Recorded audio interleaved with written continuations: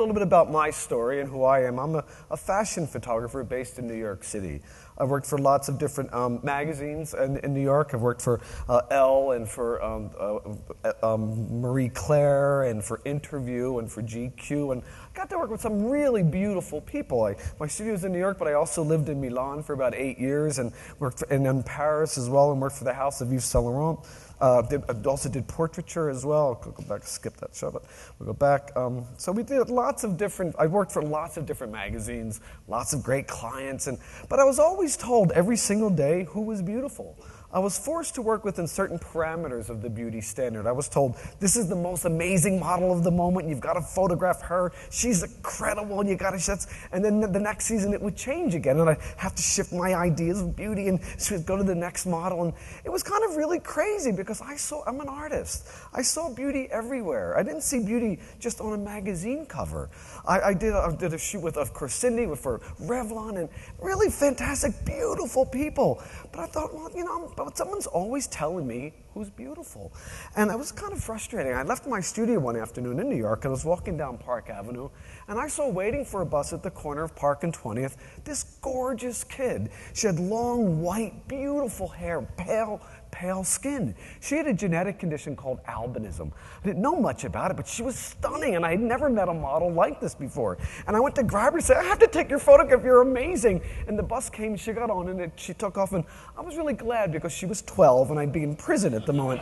But it was pretty, it was extraordinary to see this kid. So I continued right down to, to Union Square, to, to huge Barnes and Noble, started pulling any books or any information I could about this genetic condition, albinism.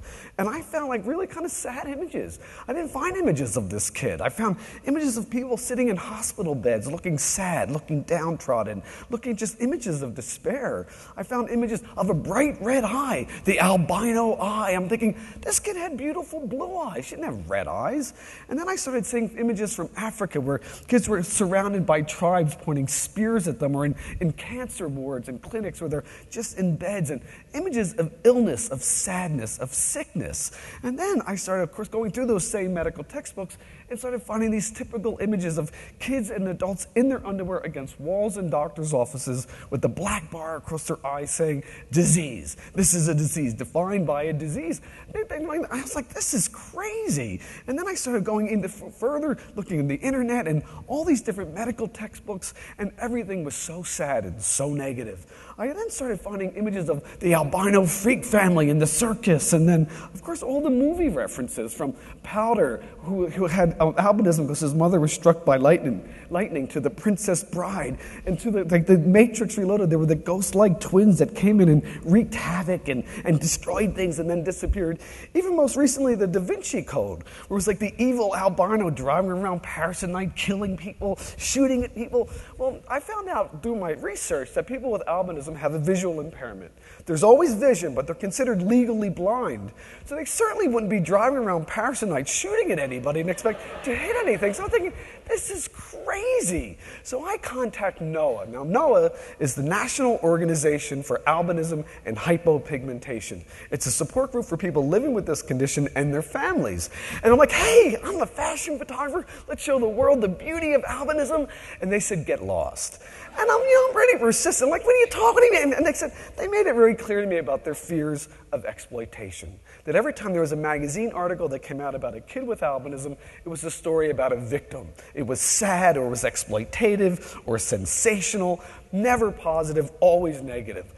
And I said, okay, well then what, what do we do here? I said, so let's form a non-traditional partnership. Fashion photographer, genetic support group, and we'll work together. And you can keep an eye on me to make sure that we create something positive and powerful, showing the world the beauty of albinism.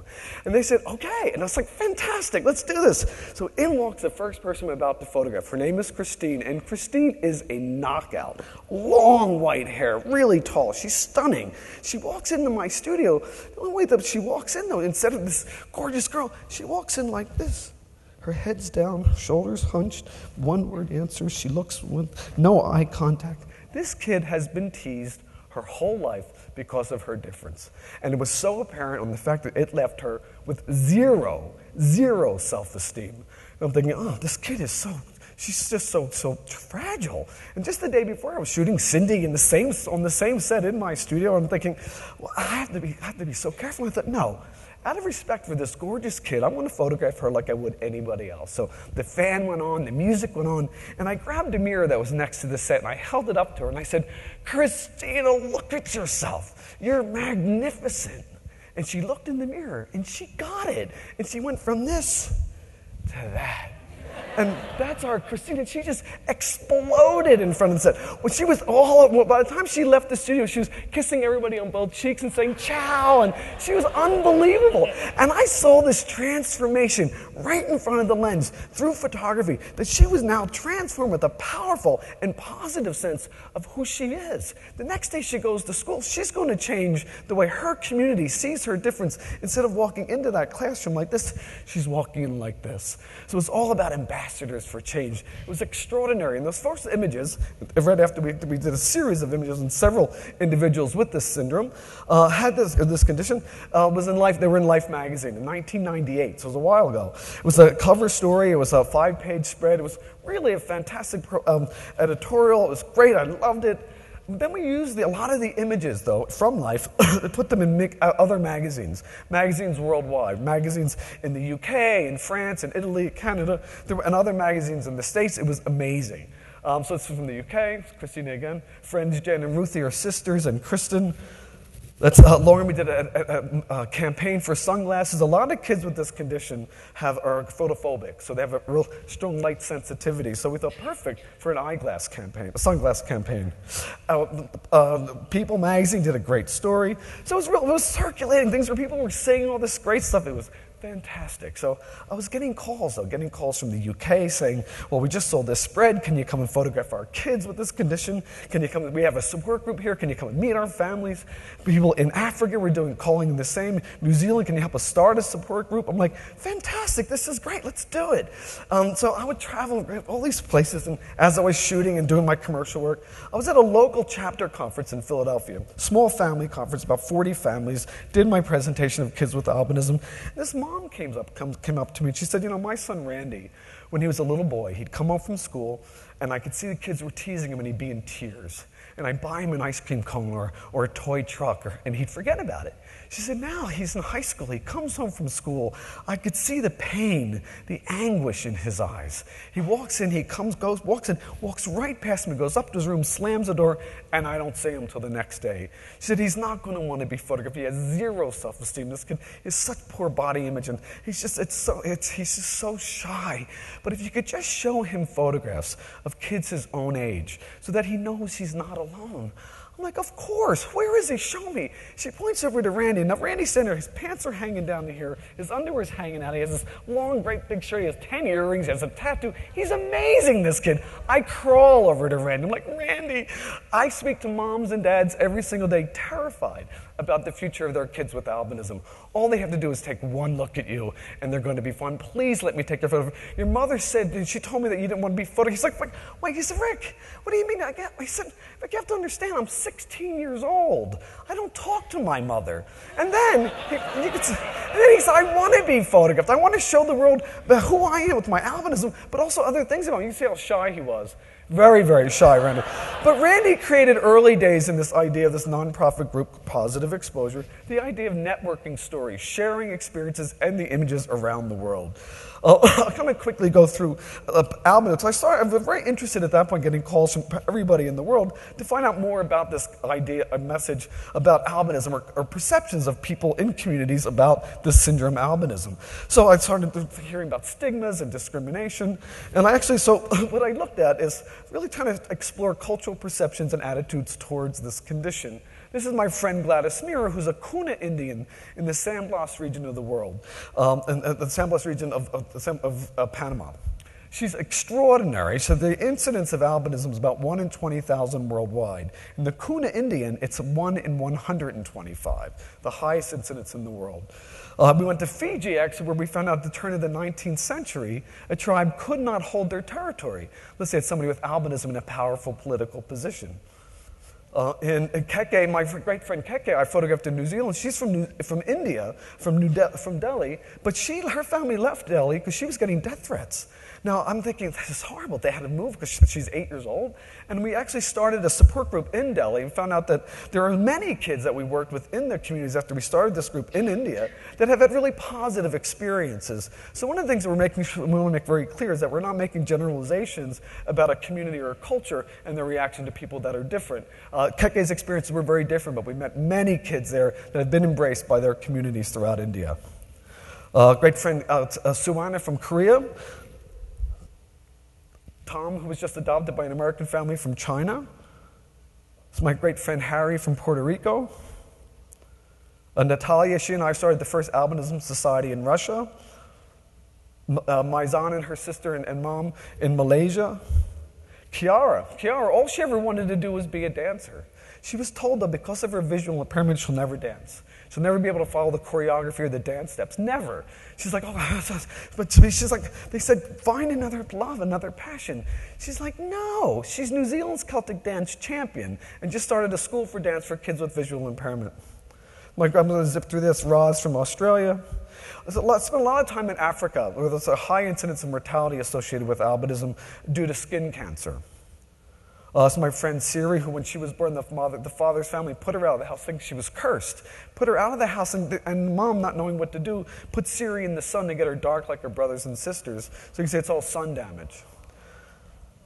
Uh, this is a great friend. A lot of kids that I met throughout Africa were put in schools, special schools, uh, schools for the blind, not because the tools are better there for kids with visual impairment, but more importantly, because the teasing was so great, the discrimination is so great, these kids don't do well in mainstream schools. I started an albinism society in Kenya with my friend CK, who actually went to a mainstream school. I'm like, CK, how's it possible you went to a mainstream school? Nobody in Africa goes to mainstream schools.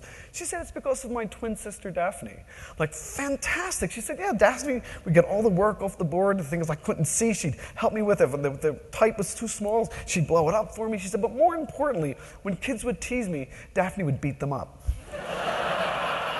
Spent on a sadder note, I'm spending a lot of time in Tanzania where witch doctors are saying, Bring me the bones of an albino and I'll make a potion that will make you rich. So we're working very closely with the, the government there. They've been there six times in the last two years to really kind of create programs, public awareness programs, to save these kids. I'll kind of go quickly through these. I received the, uh, so dancer, this isn't the Shinyanga reason. These are one of the visuals that we created in, um, in Africa, in East Africa, trying to fight and, and kind of educate the public. Um, this is actually, I received the Art of Reporting Award from the, an organization called the Chromosome 18 Registry. Um, and it was actually the more, larger organization, sorry, was the Genetic Alliance, which was a coalition of all the genetic support groups. And it was the, the award for the Life magazine piece. The president at the time said, I'm also the founder and director of this Chromosome 18 Research Society and Registry. I'm like, fantastic, that's great. What's that mean? She's like, well, if you have a, a, an anomal, anomaly on your 18th chromosome, then you have all kinds of problems and difficulties and challenges. And, and then we look after you as this, through this support group like Noah is. So I'm like, it's great. She's like, well, she said, I see there's a universal message here about all kids with differences. So it's not just about albinism. Would you come and speak to our families in San Antonio with these chromosome 18 anomalies? I'm like, sure. I went back to thinking, what the hell is a chromosome 18 anomaly? I was an art major at the School of Visual Arts. I had no idea. When I looked it up and looked in all, these are the images that I saw. I'm thinking, albinism was so easy, this is going to be rough. But I went, San Antonio, walked down to the auditorium where the kids and young adults were, opened the door, and I was instantly surrounded by kids screaming with laughter. There were kids with, with cleft palates, kids with mobility issues, feeding tubes, trachs, but they were kids first and foremost. That's Rebecca and Pauline, my great friend. That's Ellington. He's awesome. Remy. It's Emery. Byra. Taylor. Elizabeth. It's just some of my great friend Sean. Are, um, so we decided at that point to involve other organizations and be part of this larger exhibition that was going to be uh, uh, sent out at the, the um, uh, from the People's Genome Celebration in 2001. They invited me to the National Human Genome Research Institute and the Genetic Alliance, invited me to create an exhibition at the Smithsonian commemorating the mapping of the human genome. So we actually uh, invited other genetic support groups to be part of this exhibition, not just on albinism, but all groups, again, illustrating the universal applicability. I saw these images from the Marfan Foundation. These kids grow very, very tall, at risk of an aortic dissection, but they're amazing kids. And I thought, how gorgeous. I understood the importance of of this image how important it was to show how beautiful, I mean, to show how the image presents itself. But isn't there another way to show it? Because nobody, and I photograph thousands of kids now with Marfan syndrome, and nobody stands like this with a portable black bar. It's just, it's extraordinary. So we decided to put them in a pool, show Billy swimming, show how, you know, how it presents itself, but keep going and keep presenting how, how these kids look, and, and, but putting humanity back in these gorgeous images. Well, I only have a few minutes, seconds here, so I'm going to kind of go through Cool Girls at the Costello Conference. These are great friends of Danielle and Maggie who actually met at the last Costello conference. They both, first time they ever met anybody with the same syndrome, but and they, they go to the same conferences every year, and I go and photograph them. And this year they were there again in Florida, but this time it's a little different. They have, um, they're gangsters now, but they're pretty amazing kids. I just want to quickly go and touch, talk very briefly about this really great kid. Are just, I'm sorry, I didn't know I was going to go on. It's so but I just want to talk very briefly about a project that we're taking these images and bringing them into high schools. Making, well, I can photograph a great kid in my studio, and she's having a brilliant time, and she feels up 10,000 feet tall. By the time she leaves my studio and gets to Park Avenue, the, the, the, some, five people point at her, point at her birthmark, or her white hair, or her wheelchair. So we have to make it relevant for all of us, for all these kids, to make people understand and understand what the idea of celebrating diversity actually means. So we started a project called the Pearls Project, where these kids are photographs are going into high schools, and the kids that are in the images are blogging, and the students are following their blogs. And they all have these great video intros. I'm just going to give you this last one. And this is actually Byron, who is actually one of our bloggers. Hi, my name is Byron. I live in the DC area. I'm 14. When I was 10 months old, I had a left hemispherectomy. Um, I had the left half of my brain removed because I have a I have something called Sturge-Weber syndrome. I wear a brace on the on my right leg and right arm. I only see out of the right side of each eye. So sometimes it's harder for me to see some see things on the right side.